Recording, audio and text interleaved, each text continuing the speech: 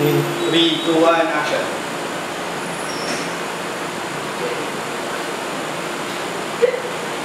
Sharing tadi. Okay. Ini aku